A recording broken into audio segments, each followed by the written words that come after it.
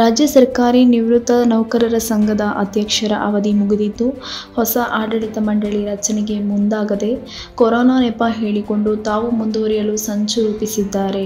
ಆದರೆ ಅವರು ಈಗ ಸಾಮಾನ್ಯ ಸದಸ್ಯರಾಗಿರುವುದರಿಂದ ಯಾವುದೇ ಸದಸ್ಯರು ಹಣಕಾಸು ವ್ಯವಹಾರ ಮಾಡಬಾರದು ಎಂದು ಸಂಘದ ಮಾಜಿ ಅಧ್ಯಕ್ಷ ಸಿದ್ದಯ್ಯ ಹೇಳಿದರು. ದಯಮಾಡಿ ನಮ್ಮ ಸಂಘ ಸುಮಾರು ಮೂವತ್ತೈದು ನಲವತ್ತು ವರ್ಷದಿಂದ ನಡ್ಕೊಂಡು ಬರ್ತಾ ಇದೆ. ಆದರೆ ಎರಡು ಸಾವಿರದ ಹದಿನಾರನೇ ಸಾಲಿನಲ್ಲಿ ಸರ್ವ ಸದಸ್ಯರ ಸಭೆ ನಡೆದಾಗ ಅಧ್ಯಕ್ಷರ ಹುದ್ದೆಗೆ ಮೂರು ಜನ ಆಕಾಂಕ್ಷಿಗಳಿದ್ದು, ಆ ಮೂರು ಜನಕ್ಕೆ ನಾವು ಒಡಂಬಡಿಕೆ ಮಾಡಿಕೊಂಡು ಇಪ್ಪಿಪ್ಪತ್ತು ತಿಂಗಳು ಒಬ್ಬೊಬ್ರು ಅಂತೇಳಿ ಮೊಟ್ಟ ಮೊದಲಿಗೆ ನಮ್ಮ ಕೆ ಬಿ ಶಿವಲಿಂಗಯ್ಯನವರು ಅಧ್ಯಕ್ಷರಾದರು. ಎರಡನೇ ಬಾರಿಗೆ ಇಪ್ಪತ್ತು ತಿಂಗಳು ನಾನು ಅಧ್ಯಕ್ಷನಾದೆ. ಮೂರನೇ ಬಾರಿಗೆ ಒಬ್ಬರನ್ನ ಎಚ್ ಈರಪ್ಪ ಅನ್ನೋರಿಗೆ ನಾವು ಕೊಟ್ಟಿದ್ದೀವಿ. ಈ ಮಧ್ಯೆ ಏನಾಗಿದೆ ಅಂದ್ರೆ ಮೊದಲ ಇಪ್ಪತ್ತನೇ ತಿಂಗಳು ನಮ್ಮ ಕೆ ವಿ ಶಿವಲಿಂಗಯ್ಯನವರು ಅಧ್ಯಕ್ಷರ ಆಡಳಿತವನ್ನು ನಡೆಸಿ ಅವರು ಅವಧಿ ಮುಗಿದ ತಕ್ಷಣ ನಮಗೆ ರಾಜೀನಾಮೆ ಕೊಟ್ಟು ಚಾರ್ಜ್ ವಹಿಸಿಕೊಟ್ರು. ಅದೇ ರೀತಿ ನಾನು ಸಹ ಇಪ್ಪತ್ತು ತಿಂಗಳು ಮುಗಿದ ತಕ್ಷಣವೇ ನಿರ್ದೇಶಕರುಗಳು ಏನು ಹೇಳ್ತಾರೆ, ಆ ತಕ್ಷಣವೇ ರಾಜೀನಾಮೆ ಕೊಟ್ಟು ಮೂರನೇ ಪಾರ್ಟಿಗೆ ನಾವು ವಹಿಸ್ಕೊಟ್ವಿ. ಅಂದರೆ ನಮ್ಮ ಮೂವತ್ತೈದು ವರ್ಷಗಳಲ್ಲಿ ಮಾಡದೇ ಇರತಕ್ಕಂಥ ಒಂದು ಔದಾರ ನಿಧಿಯನ್ನ ನಮ್ಮ ಅವಧಿನಲ್ಲಿ ಎಲ್ಲಾ ಸ್ನೇಹಿತರುಗಳ ಜೊತೆಗೂಡಿ ಒಂದು ಔದಾರ ನಿಧಿಯನ್ನು ಸ್ಥಾಪನೆ ಮಾಡಿ ನಮ್ಮ ನಿವೃತ್ತ ನೌಕರರಿಗೆ ಅಂತಿಮ ಕಾಲದಲ್ಲಿ ಒಂದು ಗಾರ್ಲ್ಯಾಂಡ್ ಮಾಡಿ ಅವ್ರಿಗೆ ಐದು ಸಾವಿರ ರೂಪಾಯಿ ಪರಿಹಾರ ಕೊಡುವ ವ್ಯವಸ್ಥೆ ಮಾಡಿ, ಒಂದು ಹದಿಮೂರು ಲಕ್ಷ ರೂಪಾಯಿನ ಹಣ ವಸೂಲಿ ಮಾಡಿ ಅದನ್ನ ಎಫ್ ಡಿನಲ್ಲಿಟ್ಟು ಅದ್ರಲ್ಲಿ ಬಂದಂತ ಬಡ್ಡಿ ಹಣದಲ್ಲಿ ನಾವು ವಿತರಣೆ ಮಾಡಿಕೊಂಡು ನಡ್ಸ್ಕೊಂಡು ಬರ್ತಾ ಇದ್ವಿ.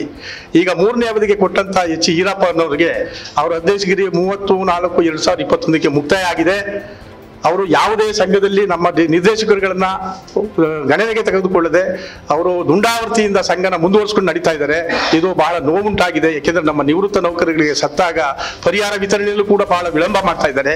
ಆದ್ರಿಂದ ದಯಮಾಡಿ ಎಲ್ಲಾ ನಮ್ಮ ನಿವೃತ್ತ ನೌಕರ ಬಂಧುಗಳು, ಈ ಇವರು ಏನು, ಇವರು ಅಧ್ಯಕ್ಷರೇ ಅಲ್ಲ, ಈಗ ಅವರ ಟರ್ಮ್ ಮುಗಿದಿರೋದ್ರಿಂದ ಅವರು ಈಗ ಅಧ್ಯಕ್ಷರೇ ಅಲ್ಲ. ಆದ್ರಿಂದ ದಯಮಾಡಿ ನಿಮ್ಗಳಲ್ಲಿ ಕೈ ಮುಗಿದು ಕೇಳ್ತಾ ಇದ್ದೀನಿ ನಮ್ಮ ನಿವೃತ್ತ ನೌಕರ ಬಂಧುಗಳಿಗೆ. ತಾವು ದೇಣಿಗೆ ಕೊಡುವುದಾಗಲಿ, ಅಥವಾ ಸಂಘದ ಒಂದು ಸದಸ್ಯತ್ವವನ್ನ ಮಾಡಿಸುವುದೇ ಆಗಲಿ ದಯಮಾಡಿ ಹೊಸ ಬಾಡಿ ರಚನೆ ಆಗುವವರೆಗೂ, ಹೊಸ ಅಧ್ಯಕ್ಷರು ನೇಮಕವಾಗುವವರೆಗೂ ದಯಮಾಡಿ ಯಾರು ಮಾಡಬೇಡಿ. ಏನೇ ಕುಂದುಕೊರತೆಗಳಿದ್ರು ಕೂಡ ಬಂದು ನಮ್ಮನ್ನ ವಿಚಾರಿಸಿಕೊಂಡು ತಾವು ಈ ಈ ಮೂಲಕ ಅದನ್ನ ನಿಲ್ಲಿಸ್ಬೇಕು ಅಂತ ನಿಮ್ಮನ್ನೆಲ್ಲ ಕೋರ್ಕೊಳ್ತಾ ಇದ್ದೇನೆ.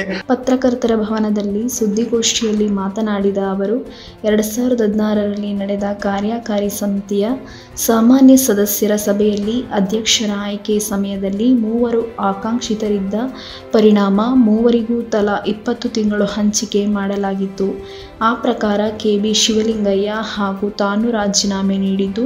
ಕೊನೆಯದಾಗಿ ಎಚ್. ಇ. ಈರಪ್ಪರವರಿಗೆ ಅಧಿಕಾರ ನೀಡಲಾಗಿತ್ತು. ಅವರ ಅವಧಿ ಎರಡು ಸಾವಿರದ ಇಪ್ಪತ್ತೊಂದರ ಏಪ್ರಿಲ್ಗೆ ಮುಕ್ತಾಯವಾಗಿದೆ. ಆದರೂ ಅವರು ರಾಜೀನಾಮೆ ನೀಡಿಲ್ಲ ಎಂದು ಆರೋಪಿಸಿದರು. ಸಂಘದಲ್ಲಿ ಅವ್ರದೇ ಏಕ ಏಕಚಕ್ರಾಧಿಪತ್ಯ ಅನ್ನೋ ಥರ ಎಚ್. ಈರಪ್ಪನವ್ರು ನಡ್ಕೊಂಡು ಹೋಗ್ತಾ ಇದ್ದಾರೆ. ಸಂಘದ ಸದಸ್ಯರಿಗೆ ಒಬ್ಬರು ಕೂಡ ಅವರಿಂದ ಮನ್ನಣೆ ಸಿಗ್ತಾ ಇಲ್ಲ. ಸಂಘಕ್ಕೆ ಹೋದ್ರೂ ಕೂಡ ಸರಿಯಾಗಿ ಮಾತಾಡಿಸ್ತಾ ಇಲ್ಲ. ಮತ್ತೆ ಸಂಘದ ನಿರ್ದೇಶಕರು ಏನಾದ್ರು ಕೇಳಿದ್ರೆ ಅವ್ರನ್ನ ನಿನ್ನ ನಾನು ರದ್ದುಗೊಳಿಸಿದ್ದೀನಿ, ನಿನ್ನ ಸದಸ್ಯತ್ವನ ಅಂತ ಅಂದ್ಬಿಟ್ಟು ಹೇಳಿ ಇದು ಮಾಡ್ತಾ ಇದ್ದಾರೆ, ಧೋರಣೆಯನ್ನು ತೋರಿಸ್ತಾ ಇದ್ದಾರೆ. ನಮ್ಮ ಬೈಲಾ ಪ್ರಕಾರ, ಬೈಲಾ ಏನಿದೆ? ಬೈಲಾ ಪ್ರಕಾರ ಕಾರ್ಯಕಾರಿ ಸಮಿತಿ ಸಭೆಯನ್ನು ಕರೆದು ಅವರಿಗೆ ನೋಟಿಸ್ ಕೊಟ್ಟು ನೋಟಿಸಿನ ಮುಖಾಂತರ ಅವರಿಂದ ಉತ್ತರ ಪಡ್ಕೋಬೇಕು. ಉತ್ತರ ಕೊಟ್ಟಿಲ್ಲ ಅವರು ಅಂತ ಅಂದಾಗ ಇವರು ರದ್ದು ಮಾಡೋದಕ್ಕೆ ರಾಜ್ಯ ಸಂಘಕ್ಕೆ ಬರೀಬೇಕು. ರಾಜ್ಯ ಸಂಘದವರಿಂದ ಅನುಮತಿ ಪಡ್ಕೊಂಡ ನಂತರ ಇವನ್ನ ರದ್ದು ಮಾಡಲಿಕ್ಕೆ ಅವಕಾಶ ಇದೆ ಬೈಲಾ ಪ್ರಕಾರ. ಆದ್ರೆ ಏಕಾಏಕಿಗೆ ಯಾವ ಕಾರ್ಯಕಾರಿ ಸಮಿತಿಯಿಂದಲೂ ಇಟ್ಟು ಅನುಮತಿ ತಗೊಂಡಿಲ್ಲ. ಮತ್ತೆ ರಾಜ್ಯ ಸಂಘವು ಕೂಡ ಕಳಿಸಿ ಅವರಿಂದನೂ ಕೂಡ ಅನುಮತಿ ತಗೊಂಡಿಲ್ಲ. ಏಕಾಏಕಿಗೆ ನಾಲ್ಕು ಜನ ಸದಸ್ಯರನ್ನ ಡೈರೆಕ್ಟರ್ಗಳನ್ನ ರದ್ದುಗೊಳಿಸಿದ್ದಾರೆ ಸದಸ್ಯತ್ವವನ್ನ. ಇದು ಕೂಡ ಒಂದು ಇದಾಗಿದೆ. ಜೊತೆಗೇನಾಗಿದೆ ಅಂತಂದ್ರೆ ಬೋರೇಗೌಡ ಅಂತಕ್ಕಂಥವ್ರು ಮಾಜಿ ಖಜಾ ಕಾರ್ಯ ಖಜಾಂಚಿಗಳು ಕಾರ್ಯದರ್ಶಿಗಳು ಅವರು ಈಗಾಗಲೇ ಒಂದು ಪತ್ರಿಕಾ ಇದನ್ನ ನಡೆಸಿ ಅವರು ಹೇಳಿಕೆಯನ್ನ ಕೊಟ್ಟಿದ್ದಾರೆ. ಏನಂತ ಕೋವಿಡ್ ಇರೋದ್ರಿಂದ ನಾವು ಇದನ್ನ ಮುಂದೂಡ್ತಾ, ಮುಂದೂಡಬೇಕು ಅಂತ.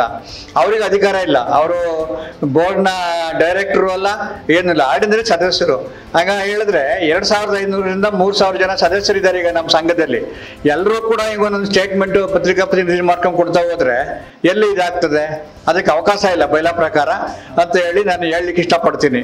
ದಯಮಾಡಿ ಇದನ್ನ ತಪ್ಪದೆ ನೀವು ನಿಮ್ಮ ನಿಮ್ಮ ಪತ್ರಿಕೆಗಳಲ್ಲಿ ಪ್ರಚಾರ ಪಡಿಸ್ಬೇಕು ನಮ್ಮ ಎಲ್ಲ ನಿವೃತ್ತ ಬಾ- ಬಾಂಧವರಿಗೆ ಇದು ಅರ್ಥ ಆಗ್ಬೇಕು ಅಂತ ಹೇಳ್ಬಿಟ್ಟು ಮನಗಳ್ಬೇಕು ಅವರು ಅಂತ ಹೇಳಿ ನಾನು ಈ ಮೂಲಕ ಕೇಳ್ಕೊತಾ ಇದ್ದೀನಿ. ಸುದ್ದಿಗೋಷ್ಠಿಯಲ್ಲಿ ಮಾಜಿ ಅಧ್ಯಕ್ಷ ಕೆ ವಿ ಶಿವಲಿಂಗಯ್ಯ, ಶ್ರೀನಿವಾಸ್, ಲಿಂಗೇಗೌಡ, ರಾಮೇಗೌಡ, ಅಂಕೇಗೌಡ, ಕೆಂಪಯ್ಯ ಉಪಸ್ಥಿತರಿದ್ದರು.